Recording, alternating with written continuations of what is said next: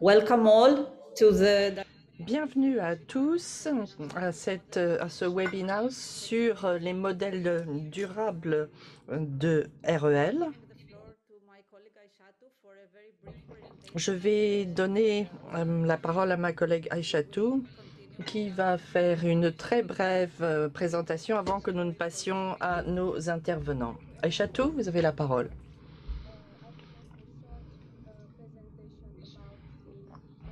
Je vais donc faire une présentation sur la recommandation de l'UNESCO sur les REL. Euh, et cette présentation, je vais la faire en français. Recommandation de l'UNESCO sur les REL. On va d'abord commencer par répondre à la question de savoir qu'est-ce que c'est une recommandation. Alors, euh, la recommandation, c'est un des principaux instruments normatifs de l'UNESCO, au même titre que les conventions et les décisions.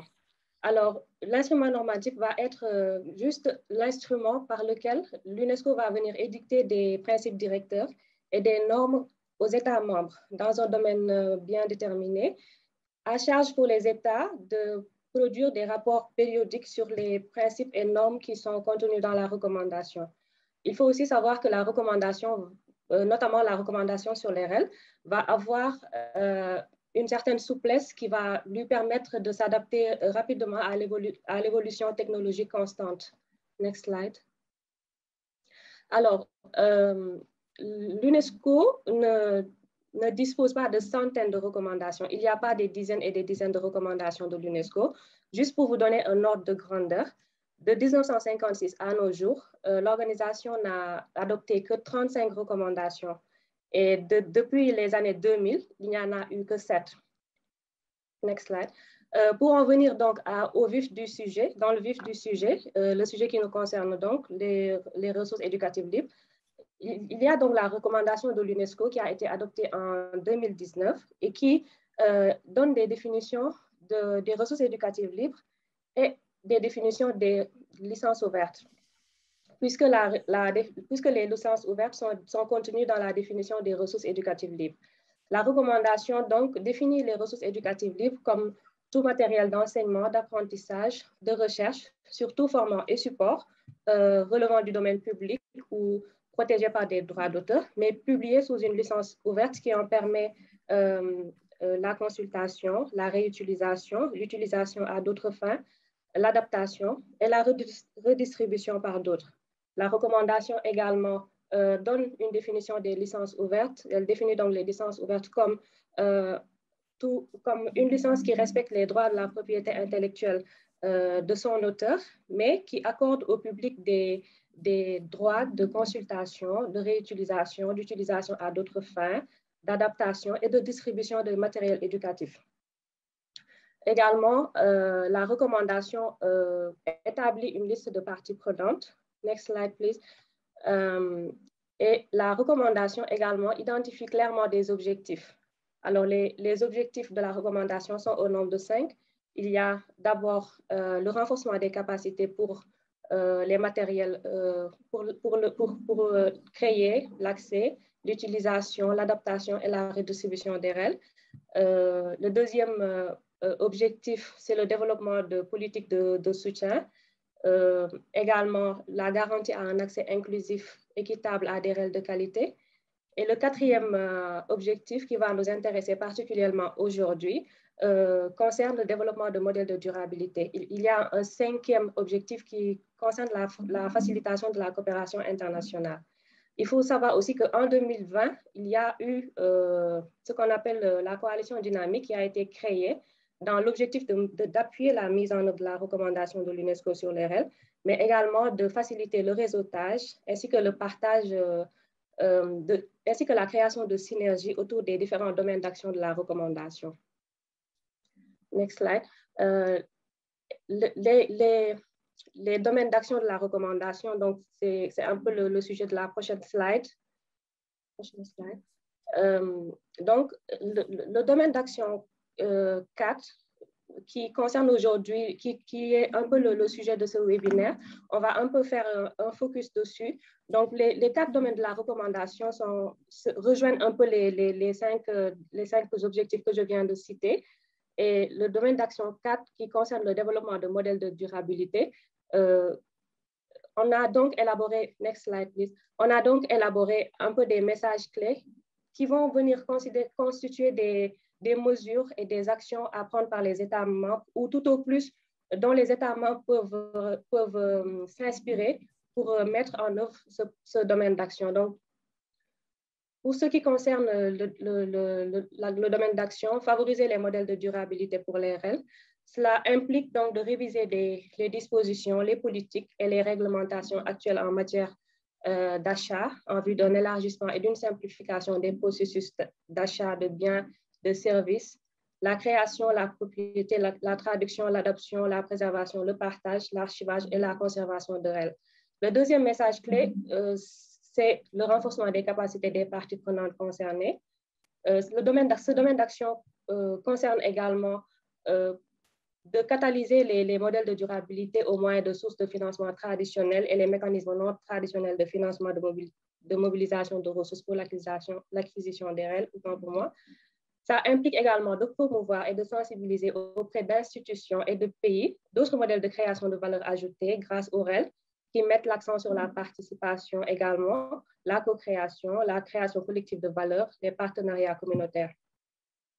Le domaine d'action euh, concerne également l'incitation à l'innovation et, le, rassemblement à des causes communes, euh, l'adoption de cadres réglementaires, également le soutien à la tradition linguistique fidèle des licences ouvertes, la création de mécanismes de mise en œuvre des règles, et enfin, l'optimisation de façon efficiente des budgets alloués à l'éducation et à la recherche. Euh, comme vous avez pu le constater, il s'agit, euh, le domaine d'action 4 est très vaste. Il s'agit d'une panoplie d'actions et de mesures à, à prendre, euh, à mettre en œuvre par les États, mais on ne pourra pas en une heure euh, passer tout en revue, mais l'idée est, est et dans, dans les, à travers les prochaines présentations, de passer en revue les thèmes les plus importants et qui, euh, et qui, ont, et qui sont relatifs, par exemple, à, faire, à, donner un, un aperçu de, des mécanismes de, de, durabilité des règles, mais également d'aborder les questions de financement et également de s'intéresser sur les perspectives de, de durabilité des règles dans le contexte de l'enseignement supérieur. Ce qui me fait euh, ce qui me fait euh, me tourner à, notre, euh, à nos distingués panélistes aujourd'hui. Le prochain, on va donc donner la parole au, à notre premier speaker, who is Mr. Amil. We are very pleased to welcome. Monsieur Amil, nous sommes ravis de vous accueillir, euh, qui est professeur à l'école d'éducation à l'université de Brasilia. Il va faire sa présentation sur euh, les modèles d'entreprise. Amil, Monsieur Amil, c'est à vous. Alors j'étais sur la traduction, donc j'ai par, parlé par-dessus vos propos. J'en suis désolée. Bien, merci beaucoup euh, de cette invitation et euh, merci pour cette initiative euh, avec cette coalition dynamique pour pouvoir avancer sur la recommandation de l'UNESCO de 2019. J'ai une présentation d'une dizaine de minutes pour euh, brosser euh, le tableau et parler un peu des modèles économiques euh, et, des modèles de durabilité pour les REL. Alors, j'ai diviser cela en deux, qui sont deux façons d'organiser la, discussion autour de euh, la durabilité. Ici, on parle surtout de modèle économique. Alors, tout d'abord, le modèle commercial. On va passer à la suivante. C'est un aspect euh, des REL euh, conventionnels. Alors, ce que j'essaye de faire,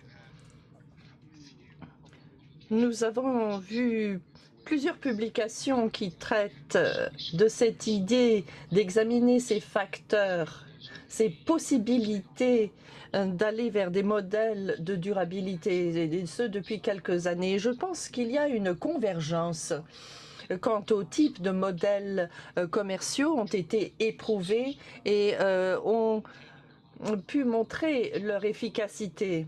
Alors, très rapidement, je vais passer ça en revue. Je donne ici un, nombre d'exemples à droite et, vous aurez accès à cette présentation, à ces slides, euh, si vous le souhaitez.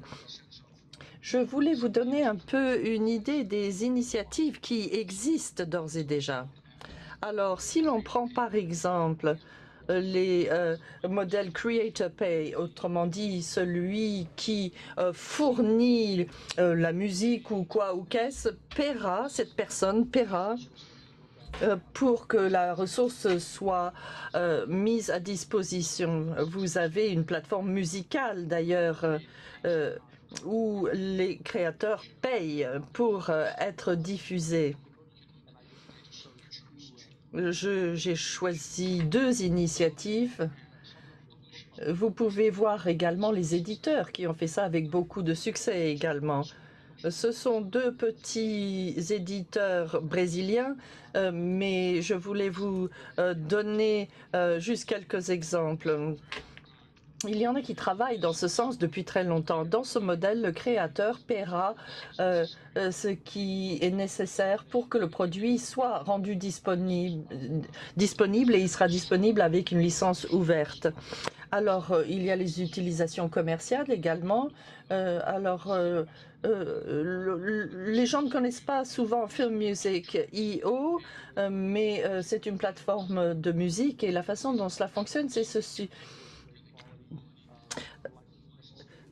Euh, les licences sont euh, ouvertes, euh, CC, BY, et c'est quelque chose qui a fait preuve de durabilité. on peut payer également pour des suppléments on a des logiciels de productivité comme OnlyOffice qui est, disons, une amélioration par rapport à d'autres initiatives comme la suite Office que vous utilisez peut-être vous-même. Et selon que vous payez euh, mensuellement euh, ou euh, par utilisateur, etc., vous aurez donc des possibilités supplémentaires. Mais la base, le code lui-même, le système lui-même est gratuit et ouvert.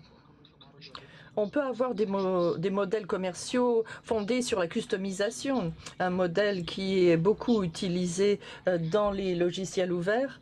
Euh, on voit cela dans euh, l'édition également.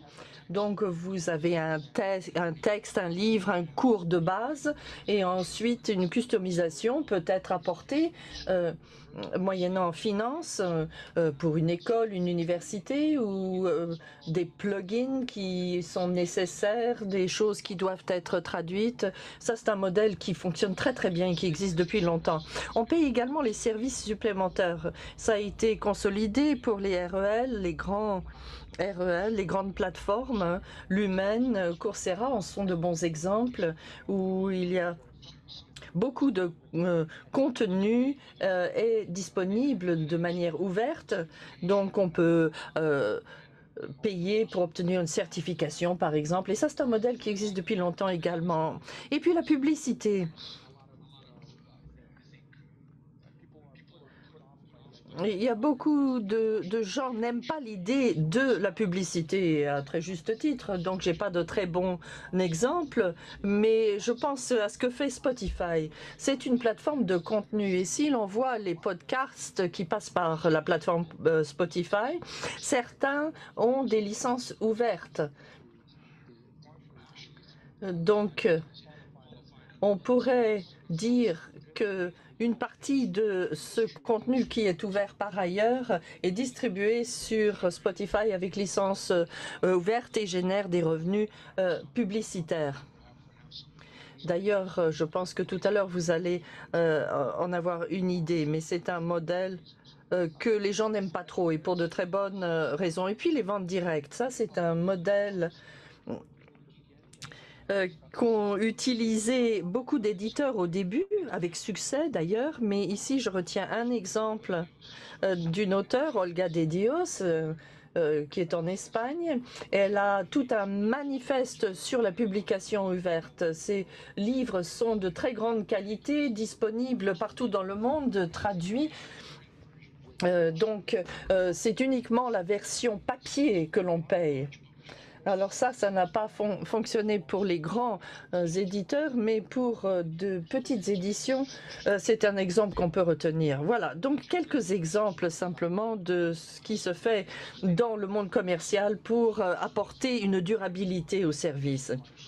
Alors, on va passer deux slides pour parler des modèles de réciprocité.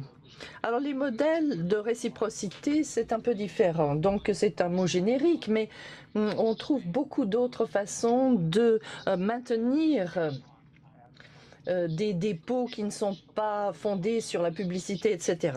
Alors évidemment, il y a l'abonnement où l'on paye euh, sur une base mensuelle.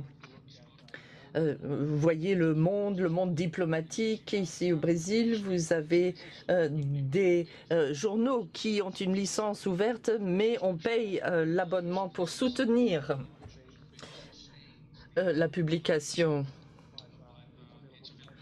Mais c'est quelque chose qui demeure néanmoins ouvert à tous. Donc il y a un modèle où on on n'a pas un immense nombre, euh, c'est pas un, système où seul un petit nombre qui paye euh, aura accès, mais euh, c'est une façon par les abonnements de rendre disponibles des contenus pour les autres.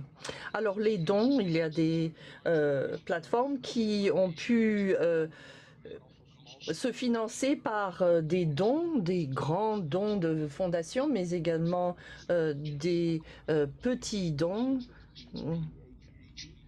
Vous avez ce que j'appelle FED, PHET, qui depuis longtemps offre des contenus ouverts pour les mathématiques, etc. en ligne.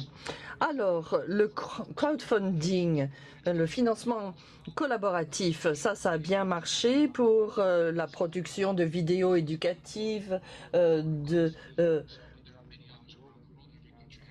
fi- films, etc. On a de très bons exemples de ceux qui sont prêts à financer des contenus éducatifs, des livres pour enfants, des plateformes par le financement participatif. Donc quand on trouve une niche, euh, ça reste durable. Alors il y a le euh, crowdsourcing où euh, on demande euh, aux uns et aux autres de contribuer. Je prends ici l'exemple de Only Office, mais il y en a beaucoup d'autres. Donc il y a des contributions, des participations au processus de création.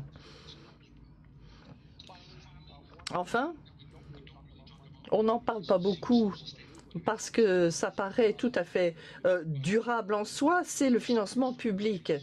Vous avez des pays en Amérique latine euh, où les initiatives publiques, malheureusement, ne sont pas euh, forcément durables. Euh, quand elles le sont, alors c'est une méthode de financement tout à fait viable sur la base de dépôts régionaux ou, ou nationaux. Donc, nous avons pu garder ouvertes ces ressources, mais c'est toujours en mutation. Enfin, les partenariats, hmm, les partenariats avec euh, des acteurs existants, la création de consortiums, ça c'est un bon euh, moyen de faire. Euh, Archive.org le fait pour le contenu à partager en ligne. Et finalement, la reconnaissance, on peut voir cela comme un moyen d'obtenir une participation au, sein d'une communauté ou attirer une reconnaissance pour son travail. Donc on peut regarder la euh, facette plus économique. Ici, pour terminer, j'ai quelques considérations que nous avons tirées de la littérature sur la durabilité. Essayer de voir quels sont les autres facteurs au-delà euh, de la durabilité. Si on peut passer à la suivante, s'il vous plaît. Nous savons que le financement et que quels que soient les arrangements, euh, il est important de garder ouverts les dépôts et la création et le partage des REL. Mais il y a un certain nombre d'autres facteurs que je voulais euh, indiquer ici. C'est cette idée que certains dépôts des lieux que les uns et les autres vont consulter. Donc ici, des valeurs d'ouverture, apporter un soutien à ceux qui veulent produire et partager. Euh, euh, OpenStax le fait par exemple, et les euh, encouragements pour l'engagement, nous connaissons ça, il faut essayer d'avoir toujours un contenu à produire pour les gens. Les critères de qualité sont euh, également extrêmement importants, pas uniquement pour euh, les REL, mais il faut toujours avoir des mécanismes de critères pour regarder les inventaires, le contenu, en attendant une qualité, une très haute qualité.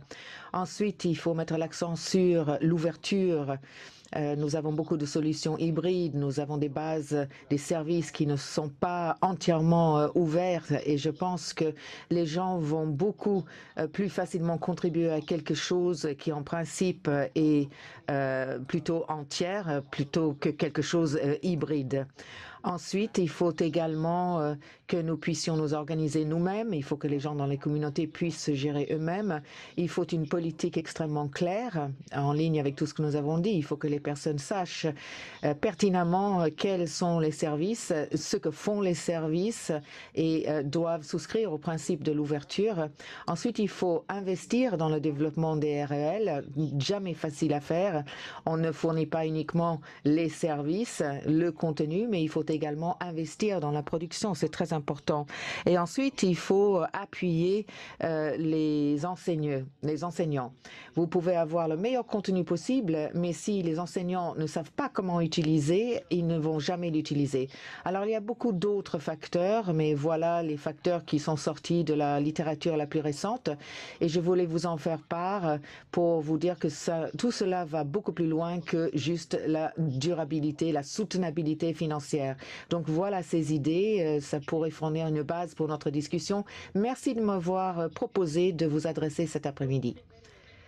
Merci beaucoup pour euh, cette présentation qui est absolument excellente et nous allons maintenant passer à notre prochain orateur qui est Monsieur Ahmet Tlili qui est le co-directeur du lab laboratoire REL, le Smart Learning Institute de l'Université Beijing Normale et il va nous parler du développement de modèles euh, de euh, alors je vous passe la parole.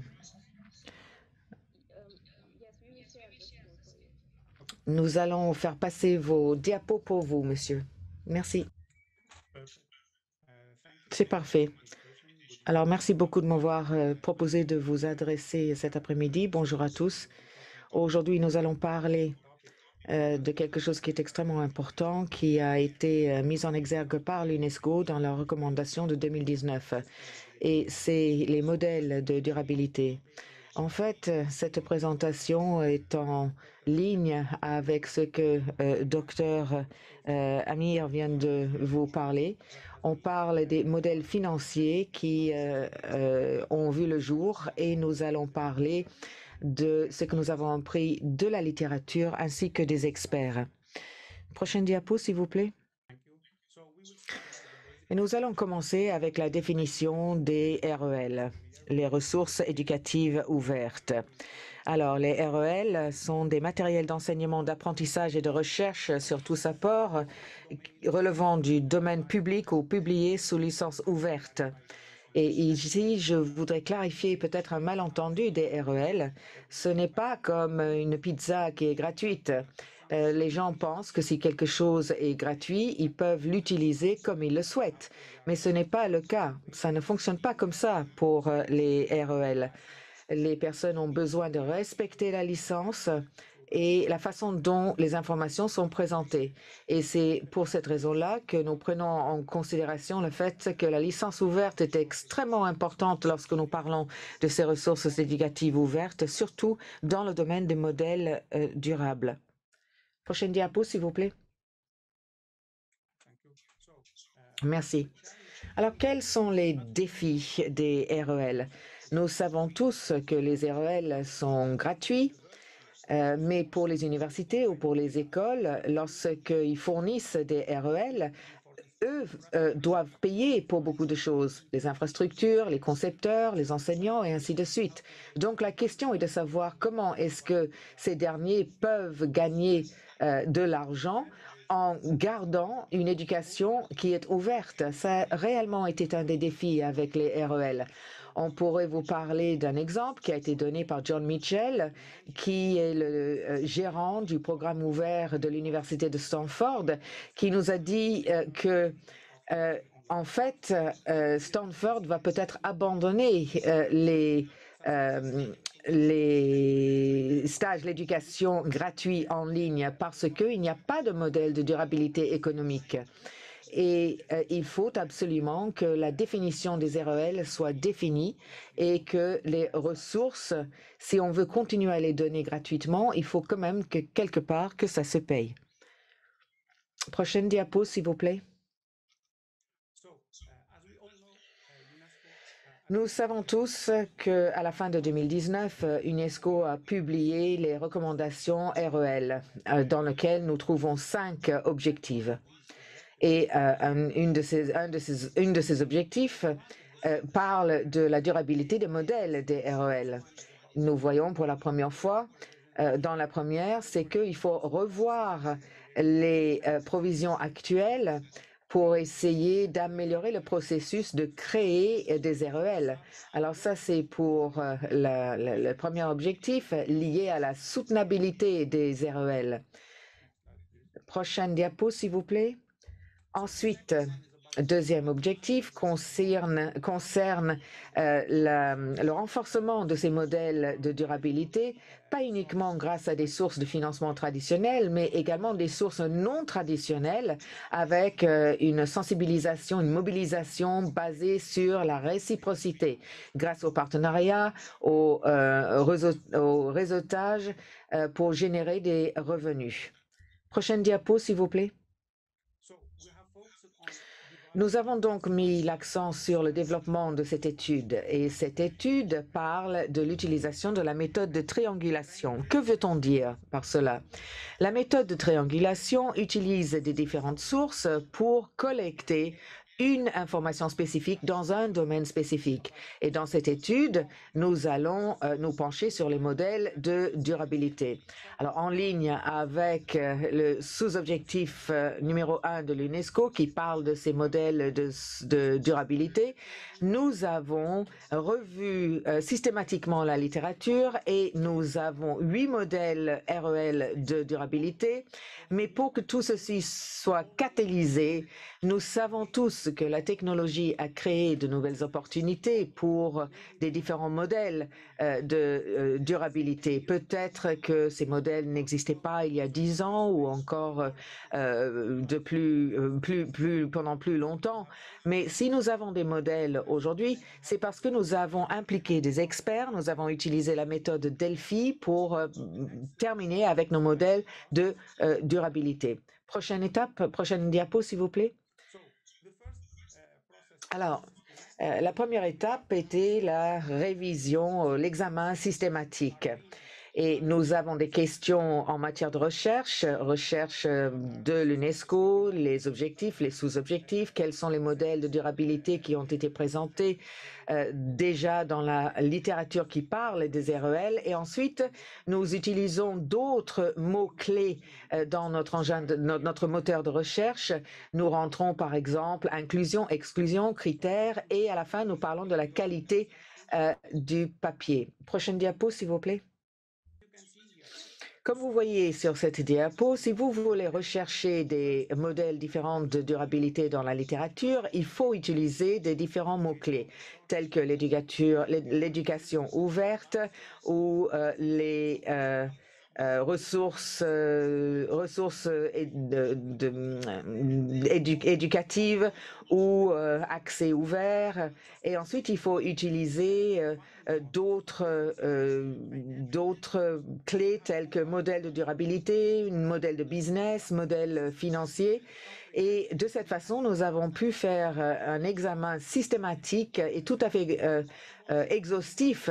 Nous avons donc pu examiner la majorité des modèles. Nous avons utilisé d'autres bases de données électroniques telles que Science Direct, Taylor et Francis et IEEE Explore Digital Library. Prochaine diapo, s'il vous plaît.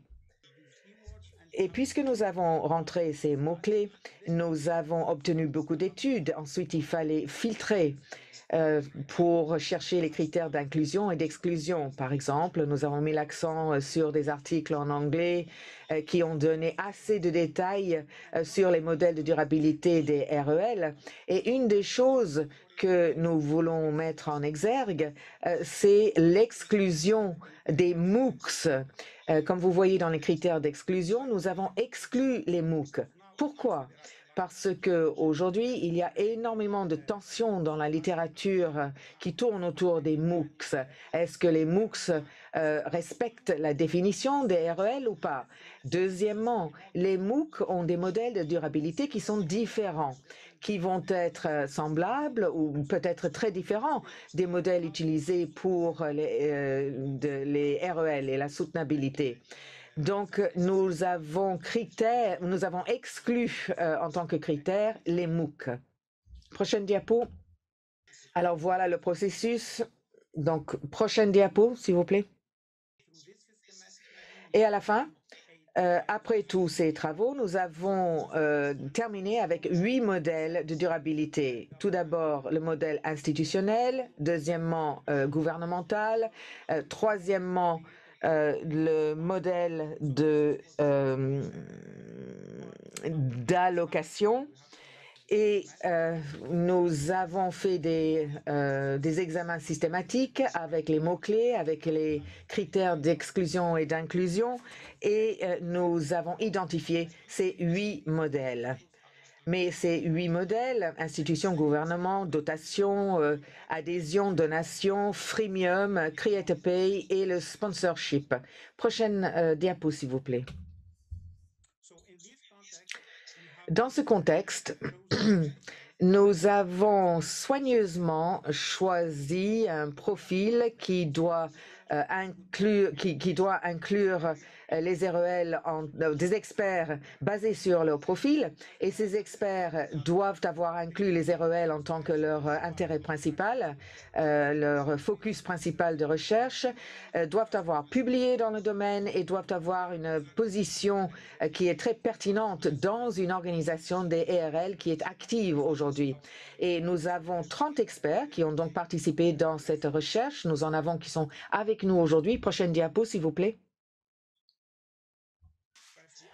Alors pour les experts, nous leur avons posé plusieurs questions. D'abord, nous leur avons demandé s'ils sont d'accord ou pas d'accord avec les huit modèles que nous avons extraits de la littérature. Ensuite, nous leur avons demandé si eux, ils ont d'autres modèles euh, qui n'ont pas été euh, discutés dans la littérature, mais qui pourraient également marcher pour garder la durabilité des REL. Et troisièmement, nous leur avons demandé de noter euh, chaque modèle. Et on peut voir dans certains des exemples qui ont été donnés par nos experts. Euh, dans la classification euh, auparavant, on avait les modèles institutionnels et euh, gouvernementaux qui ont été donnés séparément, mais les experts ont dit que souvent les deux sont liés que c'est le gouvernement qui euh, finance également les institutions. Donc, ce n'est pas la bonne méthode que de les séparer. Et euh, ils ont suggéré que les deux, c'est-à-dire les modèles le modèle gouvernemental et institutionnel, soient combinés. Parce que, en fait, c'est le gouvernement qui finance les institutions, surtout les écoles publiques. Et un autre exemple qui a été donné par nos experts concernait que les modèles euh, de euh, dotation et de donation devraient également être mis ensemble puisqu'ils avaient les mêmes objectifs. Et ils nous ont donné euh, beaucoup d'informations. Basées sur cette information, nous avons revu nos modèles de durabilité. Et prochaine, prochaine diapo, s'il vous plaît. Et à la fin, nous avons dix modèles de euh, durabilité, de REL durable, qui ont été euh, entièrement validés. Tout d'abord, grâce à un financement interne, euh, les universités vont donc couvrir les coûts de la création, de la livraison et de la distribution des REL dans le cadre de leur budget annuel.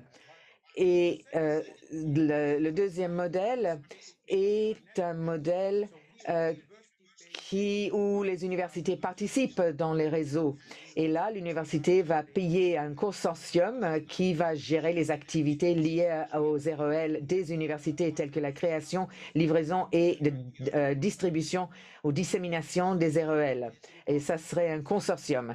Troisièmement, ce serait à travers le financement public, c'est-à-dire les REL seraient financés grâce à un financement international, national ou local, grâce à des subventions ou des projets qui sont financés. Prochaine diapo, s'il vous plaît. Quatrième modèle, c'est grâce à des donations ou à des dotations. Et là, c'est euh, les associations caritatives euh, qui vont financer euh, les REL ou les fondations, où euh, le financement sera collecté grâce à des donations euh, privées. ceci inclurait le financement participatif. Alors, de temps à autre, on va peut-être euh, ensuite, il y a grâce au euh, sponsoring ou la pub. Euh, le sixième modèle, c'est en offrant certains services aux apprenants. Et là où les le coût des RL sera couvrir en offrant des services à des apprenants tels que la customisation, le tutoring, la reconnaissance. Euh, ceci inclurait des modèles de freemium, euh, des micro-paiements tels que des services pour lesquels il faut régler une somme forfaitaire, mais une seule fois. Et ensuite, septième modèle, ce serait d'offrir des données dans le domaine de l'apprentissage aux sociétés. Là, on pourrait vendre des données et euh, des analyses euh, dans le domaine des activités des apprenants. Prochaine diapo, s'il vous plaît. Ensuite, nous avons le huitième modèle, ça serait de fournir des REL euh, à la demande. Si quelqu'un vous demande, là, vous pourriez le fournir. Et euh, ça serait au nom des autres acteurs, tels que des centres de formation, des euh, sociétés, des organisations, des étudiants, euh, et le paiement serait euh, euh, réglé par eux. Et en neuvième, ça serait les auteurs des REL qui vont le fournir et qui pourraient demander un paiement. Et le dernier, c'est le modèle basé sur la communauté. Donc, comme vous voyez, nous avons dix modèles différents qui ont été que nous avons pu créer grâce aux experts. Il y a certains de ces modèles qui ont déjà fait l'objet des examens de la littérature et d'autres sont sur notre site web. Et ensuite, à la prochaine diapositive, nous voyons que, euh, quelles notes ils ont données à ces différents modèles de durabilité. On leur a demandé de, demandé de donner une note et nous pouvons voir que euh, le premier euh, modèle, celui qui obtient euh, la note la plus élevée, c'est grâce au financement public. Et ce qui est très intéressant, c'est que nous voyons que le dernier modèle qui est le modèle le moins utilisé, ce serait en offrant euh, des données dans le domaine de l'apprentissage aux sociétés. Et c'est tout à fait compréhensible parce que là, nous avons les problèmes de confidentialité et euh, il faut donner des exemples pour chaque modèle. Donc, euh, le dernier modèle, modèle 7, est utilisé, mais il y a beaucoup d'experts qui ont parlé de leurs inquiétudes en ce qui concerne la vie privée des étudiants et qui ne veulent pas vendre leurs données. Euh, à d'autres sociétés. Donc là, vous avez la classification qui a été donnée par les experts et nous pouvons voir également que nous, nous avons le modèle le plus populaire et celui qui est le moins populaire. Et cette étude, prochaine diapo s'il vous plaît, euh, a donné lieu à une publication. Cette publication, a été faite dans un journal et se trouve également sur notre site web. Vous avez l'adresse à l'écran et euh, si vous ne l'avez pas, je peux vous l'envoyer. Et merci beaucoup de m'avoir écouté cet après-midi. Je serai ravie de répondre à vos questions. Merci. Merci beaucoup. Merci d'avoir partagé avec nous toutes ces informations très intéressantes sur l'évolution de ces modèles. Alors enfin, nous avons Madame Tilly Jensen. Nous sommes ravis de vous avoir parmi nous. Madame Jensen est professeure assistant en euh, comptabilité et experte en technologie d'apprentissage euh, numérique. et elle va nous parler de la production et l'utilisation des REL. Merci beaucoup. Merci de m'avoir invité à m'exprimer aujourd'hui et merci aux autres intervenants pour ces présentations très intéressantes. Suivante, s'il vous plaît. Avant de commencer, j'aimerais brièvement vous faire une petite introduction à ma philosophie d'enseignement et mon expérience REL. Alors, moi, j'enseigne la comptabilité et euh, les ressources euh, revues par les pairs sont essentielles. J'ai une responsabilité éthique de faire tomber les barrières financières s'agissant de ces ressources d'apprentissage, puisque, puisque j'ai cette mission à l'université. Je peux le faire en créant des manuels RER e et c'est ce que j'ai fait. Alors pour les euh, trois cours que j'assure, euh, euh, nous avons pu économiser 8 millions de dollars en utilisant ces manuels REL. Donc si une personne peut arriver à une économie de 2,8 millions, quid si tous les enseignants à l'université le faisaient?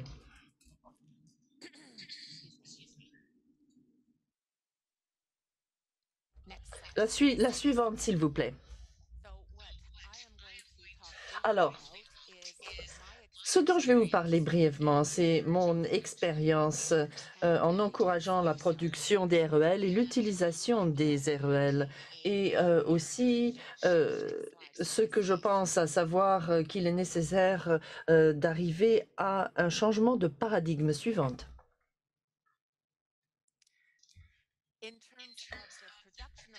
Pour ce qui est de la production des REL, euh, l'un des premiers obstacles, d'après mon expérience, est de trouver des champions des REL au niveau de la faculté, au niveau des enseignants. Il est difficile euh, d'obtenir un soulagement de la charge de travail.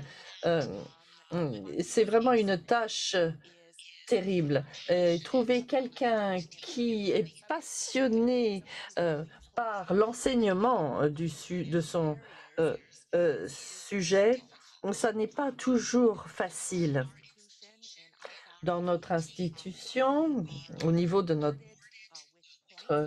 faculté, nous recevons des points sur la base de nos productions intellectuelles, notamment nos publications dans des euh, revues de renom.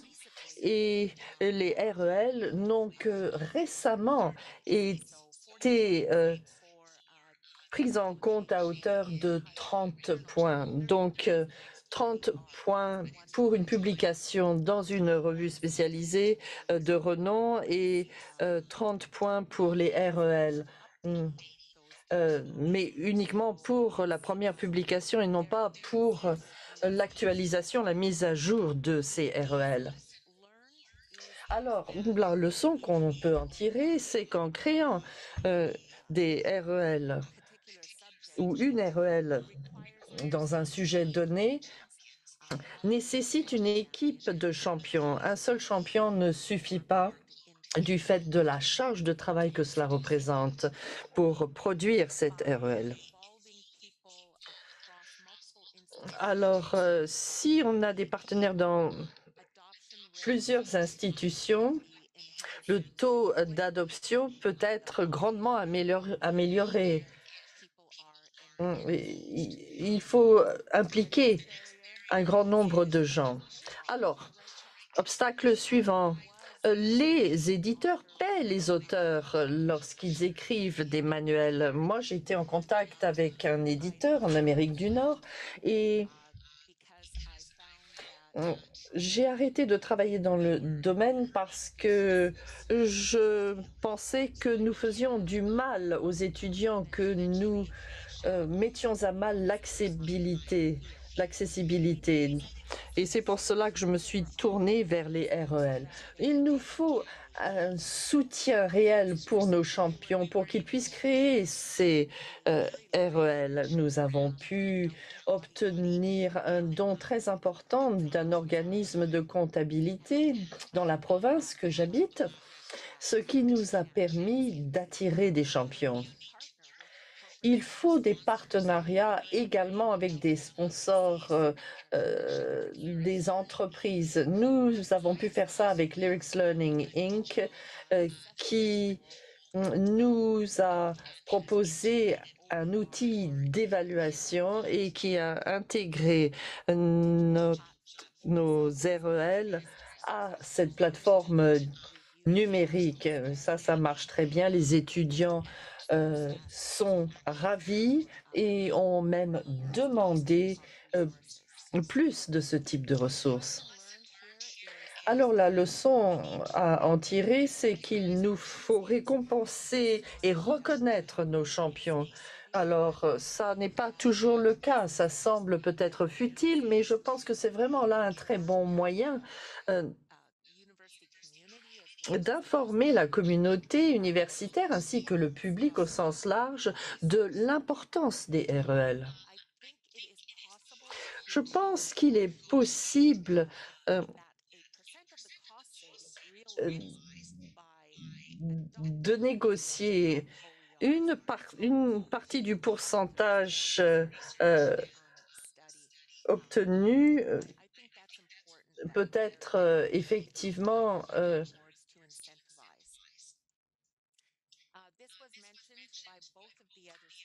réservé à celui qui produit le, la REL. Il est essentiel que les ressources euh, soient euh, examinées par les pairs et que cela soit intégré dans tout le processus de production de la ressource. Afin d'optimiser ces examens par les pairs, euh, je pense qu'il faut mettre en place une équipe afin que l'on puisse afficher le fait que telle ou telle ressource hum, est une ressource de qualité suivante. Alors, encore une fois, un obstacle euh, à l'utilisation des REL, là encore, c'est le problème de trouver des champions, ceux qui sont véritablement passionnés pour l'utilisation des REL et euh, l'amélioration de l'accessibilité pour les étudiants partout dans le monde. Donc, pour lever l'obstacle, là encore, il faut que euh, les enseignants soient récompensés euh, d'une manière ou d'une autre s'ils utilisent les REL. Et dans mon département, il n'y a pas de système de récompense pour l'utilisation des REL.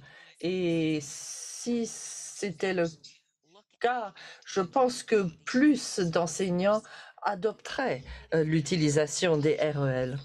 Il est essentiel également de jouir du soutien euh, qui vient du sommet. Il vous faut euh, champion également à ce niveau-là, qui puisse encourager les enseignants, qui rappellent que ça fait partie de la mission d'une institution. Alors, la leçon en tirée, il faut célébrer les champions. Qui sont ceux qui utilisent les REL Quelles sont les données qui indiquent combien euh, de personnes utilisent les REL et quelles sont les économies?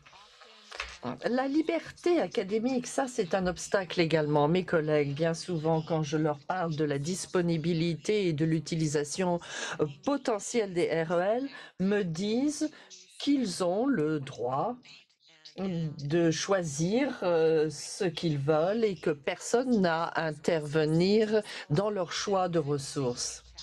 Alors ça, c'est vraiment un énorme défi. Et pour moi, la question qui se pose est de savoir euh, si euh, l'utilisateur des REL doit être imposé, si euh, des ressources crédibles revues par les pairs sont disponibles. Et la leçon alors ça, c'est mon avis personnel. Est-ce que c'est quelque chose qui a trait véritablement à la liberté académique ou est-ce que c'est la résistance au changement? Moi, je pense que c'est plutôt la résistance au changement. Euh, les habitudes sont prises. Euh, et les enseignants, bien souvent, ne s'inquiètent pas du prix d'une ressource. Il est très difficile de les faire changer d'optique. Donc, il faut les éduquer, il faut montrer euh, euh, quelle est cette disponibilité des REL. Ensuite, la crédibilité des manuels REL. Alors ça, je le souligne, c'est vraiment d'une très grande importance. Ça, je l'entends constamment de la part de mes collègues. Les ressources les REL ne sont pas crédibles, euh, ne sont pas des ressources de qualité. Alors, c'est en partie euh, quelque chose qui euh, est colporté par les éditeurs parce que c'est dans l'intérêt des éditeurs euh, que les enseignants ne se tournent pas vers les REL parce que si tous les enseignants le faisaient, ce serait la mort euh, des éditeurs. Donc c'est dans leur intérêt de discréditer les REL et c'est bien dommage. Donc il faut que nous publions une liste de qui a euh, procédé à la revue des REL et qui les utilise. La transparence ici, c'est la clé. Et il faut le dire haut et clair autant que faire se peut. Encore une fois, la résistance au changement, ça c'est lié à la liberté académique, est-ce que les dirigeants doivent demander l'utilisation des REL Je sais qu'il y a des institutions, des établissements aux États-Unis où il a été dit qu'une part de leur mission était d'encourager le recours aux REL euh, par exemple 20% pour l'année prochaine, 25% l'année suivante, 30 ensuite, etc. Donc, ce qu'il nous faut, c'est un changement de paradigme euh, euh, mondial pour légitimer les REL. il faut que ça vienne d'en haut comme de la base. Suivante. Donc, pour résumer, si l'on veut produire et utiliser les REL, la clé, ce sont les champions parmi les enseignants, mais également euh, au niveau de la direction. Et, il faut euh, qu'ils puissent y trouver leur compte, euh, soit financièrement, soit en termes de charge de travail. Il y a différentes incitations qui fonctionnent selon les individus. Pour nous, les partenariats sont essentiels. Dans mon domaine, nous, nous avons un partenariat avec des organisations professionnelles de euh, comptabilité ainsi que des sponsors euh, d'entreprises. Alors, la création, cela coûte cher, euh, la production de REL de qualité et à mon université, à Basque University, comme cela a été dit, une partie de la production a été financée par l'institution et également par les partenaires. Il nous faut donc ce changement de paradigme. Il faut que les uns et les autres euh, croient véritablement euh, que, que les RER e sont une nécessité et que les RER e sont crédibles. Suivante.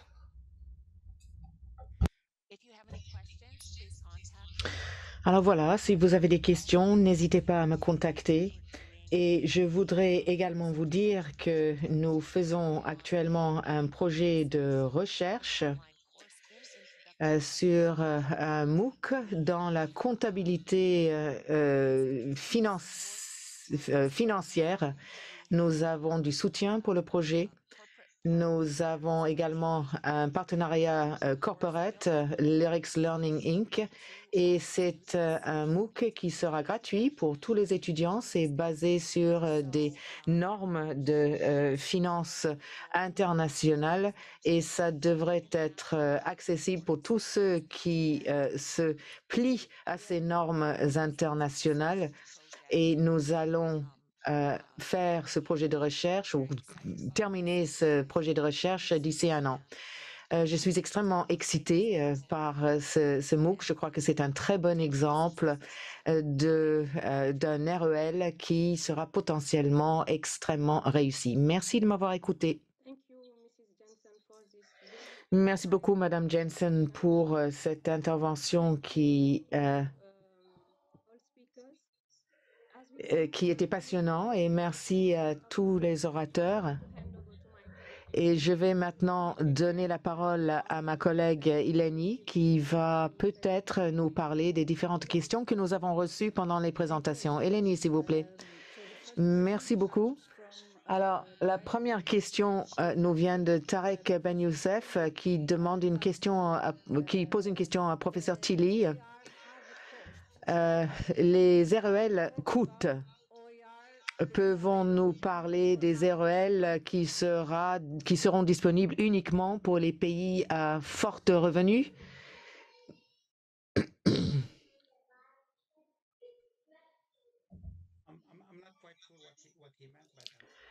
Alors, je ne comprends pas très bien la question. Mais je voudrais vous dire que euh, normalement, les REL sont euh, gratuits. Mais le problème, c'est qu'il faut payer les infrastructures, les serveurs en ligne, Internet. Nous avons également besoin de payer euh, les programmeurs, euh, les concepteurs. Il faut payer euh, pour que des enseignants ou des champions développent ces REL. Donc, ça nous coûte beaucoup, mais en même temps, il faut que nous l'offrons gratuitement pour nos apprenants. Donc, c'est là le défi majeur. Le défi, c'est comment continuer à payer ces coûts en gardant quelque chose qui est gratuit pour les apprenants. Euh, il faudrait trouver quelque chose qui soit efficace, qui soit durable. Il faut respecter la définition du concept et la définition des REL, mais en même temps, il faut, euh, il faut reconnaître que nous, nous devons payer euh, alors que les REL sont gratuits. Bon, merci beaucoup. J'espère que j'ai bien compris la question. il y a une seconde question qui concerne les incitatifs et les politiques de Huyn Tran Huy et Val Mendes. Quelle euh, politique pourrions-nous suggérer au gouvernement pour surmonter les barrières et comment est-il possible d'appuyer des systèmes locaux ou des écosystèmes locaux pour encourager les REL Alors ça, c'est une question pour tout le monde. Si quelqu'un souhaite prendre la parole? Oui, alors moi je vais parler des politiques parce que nous avons beaucoup travaillé dans le domaine des politiques et je crois que l'idée de travailler d'une manière euh, descendante et ascendante euh, pour ce qui est des politiques, pour essayer de convaincre des personnes, eh bien la première chose est une question de bon sens. Euh, dans notre recommandation, on dit, on, on, sait que des ressources qui sont financées publiquement doivent être disponibles au public. Et souvent on dit ah mais c'est beaucoup plus facile euh, de réussir lorsqu'on essaie de convaincre des personnes de tous les différents domaines euh, de l'économie que ces ressources publiques doivent être disponibles au public. Alors c'est c'est un argument qui est très facile à faire passer. C'est moins difficile à mettre en pratique. Et l'autre chose qui a été mentionnée par euh, notre collègue, c'est que pour ce qui est de la sensibilisation, nous en sommes pas encore là. Je crois qu'il faut faire plus de travail. Nous avons euh, tendance à penser que tout le monde sait exactement ce que c'est qu'un REL et qu'on peut maintenant avancer pour essayer de produire les conditions pour un bon partage. Mais ce n'est pas le cas. Beaucoup de personnes ne savent pas ce que sont les REL, ne sont pas au courant des questions du, euh, de droit d'auteur. Et avec une meilleure sensibilisation, nous allons pouvoir trouver plus de champions et nous allons pouvoir travailler mieux ensemble. Et pour le moment, c'est quelque chose qui n'est pas entièrement euh, fait. Merci beaucoup. Professeur Jensen, est-ce que vous voulez rajouter quelque chose? Alors, je suis tout à fait d'accord avec mon collègue. L'éducation euh, des, euh, des professeurs des universités, euh, de la direction des universités est absolument clé ici. Il faut changer notre paradigme et je n'aime pas utiliser cet exemple, mais si on prend l'exemple de notre pandémie actuelle, nous avons trouvé une légitimisation de l'apprentissage en ligne, de l'éducation en ligne et ça a été la seule façon pour que nous puissions continuer à enseigner. Nous avons donc besoin d'un événement mondial pour essayer de changer le paradigme pour les REL, euh, de la même façon que la pandémie a euh, changé le paradigme pour l'éducation en ligne. Alors, ce n'est pas que je souhaite une deuxième pandémie, mais nous avons besoin de quelque chose qui aurait le même effet et qui va montrer aux personnes que c'est absolument nécessaire d'avoir des REL. Merci. Merci beaucoup. Nous avons une autre question pour le professeur Tlitli pour ce qui est de sa publication. Euh, Est-ce que les modèles dont il a discuté euh, ont déjà été mis en œuvre dans les différents pays? Alors, merci beaucoup. Alors, nous avons commencé euh, avec quelques balbutiements. Nous avons commencé doucement avec, tout d'abord, dans le contexte de notre proche, pro propre université, avec la possibilité d'avoir des bonus, euh, des primes, d'être d'avoir de, des REL reconnus en tant que publication. Donc euh, maintenant, nous essayons de parler euh, pour que les REL et les publications à accès ouvert soient considérées comme légitimes pour l'avancement des carrières professionnelles. Mais je voudrais vous dire également qu'il y a toujours des défis. Si on parle de la promotion ou de la publicité, je sais que certains euh, de mes collègues travaillent dans le domaine de la technologie de l'éducation.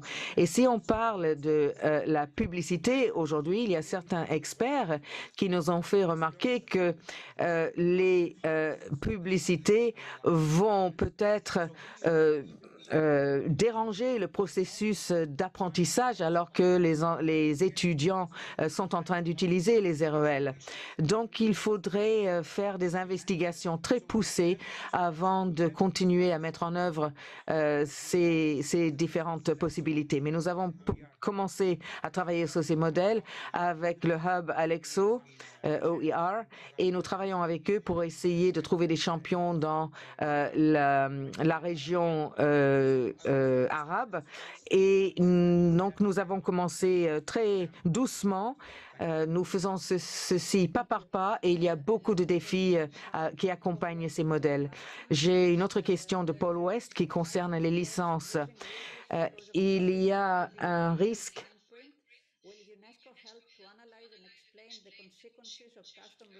dans l'utilisation de ces licences, parce que souvent il y a des choses en, bas de page euh, qui ne sont pas euh, compris. Est-ce que l'UNESCO va aider à la compréhension de ces licences qui sont publiées en ligne?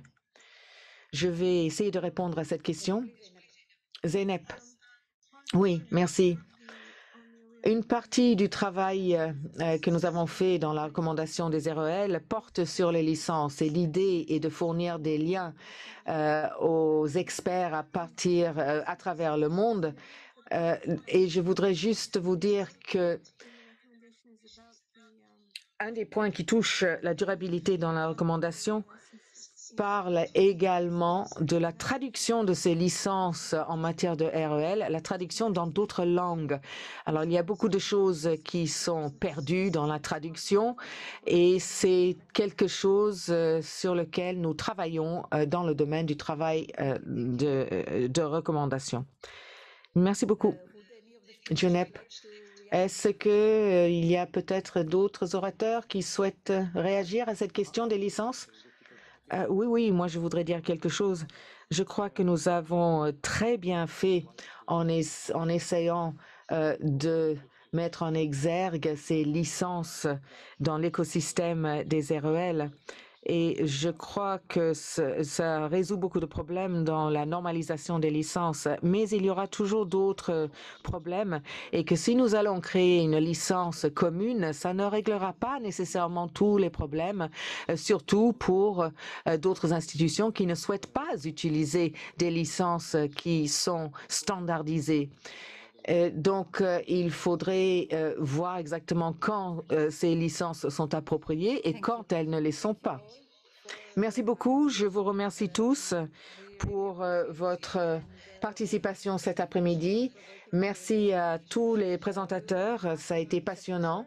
Nous allons revenir au mois de septembre avec une nouvelle série de webinaires beaucoup d'autres, beaucoup d'autres événements et j'espère vous voir euh, lors de ces webinaires. Merci beaucoup. Oui, juste une dernière chose, s'il vous plaît, avant de partir, juste pour vous dire que dans le chat,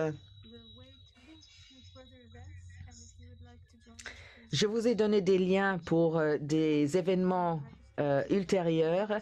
N'hésitez pas à vous enregistrer pour ces webinaires. Merci.